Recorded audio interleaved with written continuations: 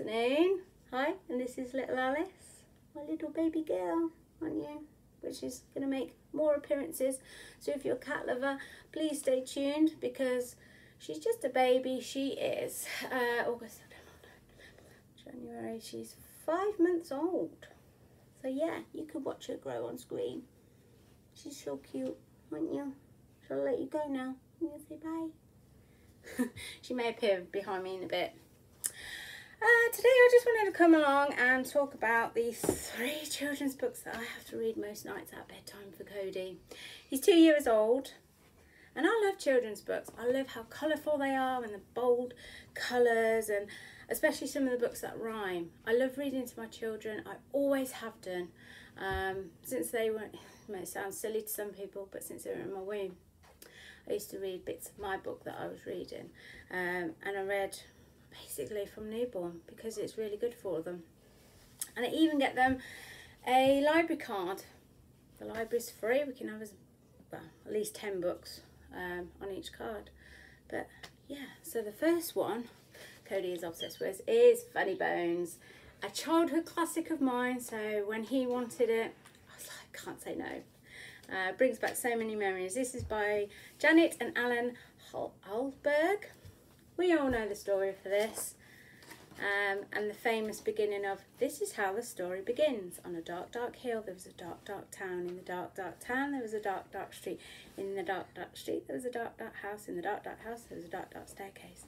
Down the dark, dark staircase, there was a dark, dark cellar. And in the dark, dark cellar, some skeletons live.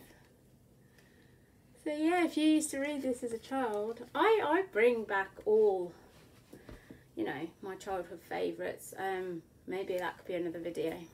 The books that I'm trying to get my children to read.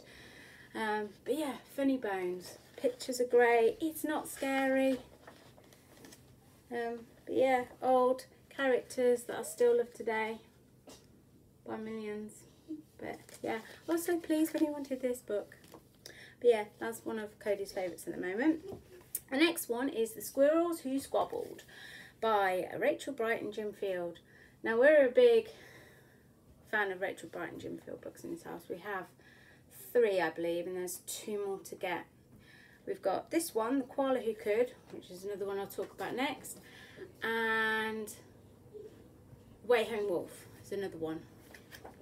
But yeah, this is a rhyming book and it's about two squirrels who want the last acorn um, from the tree and they have to literally fight for it. They run after it. Um, they don't need each other. They don't want to work together to get this nut. And um, yeah, and fact they fall off the edge down a waterfall. I just love the pictures. It's very autumnal, this book.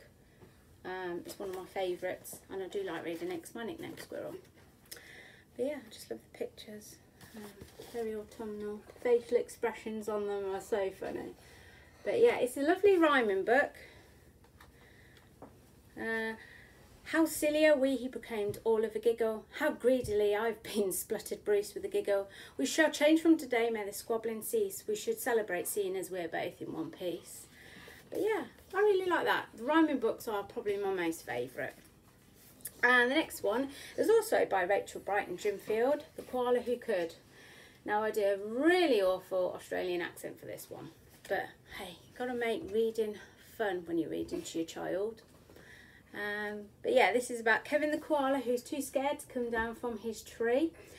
Um, and then one day his tree falls because, I think it's a woodpecker. Yep, the woodpecker pecks the tree down uh, and he falls and then he realises he can't come off his tree, he can't. But then once he's off his tree, he realised he can. But I love this message it puts out to children. Um, that's because when life can be great when you try something new. So, yeah, try something new, life can be great. But yeah, again, I love the pictures, bright, very Australian feel, I think, to this one. But yeah, those are three children's books that I'm reading mainly at night at the moment with Cody. Um, yeah, they may change this week. They may not. I might be reading those for another month. but we shall see. I will keep you updated with his little reading. Um, but apart from that, I will talk about children's books again soon. Um, so have a great day. Bye.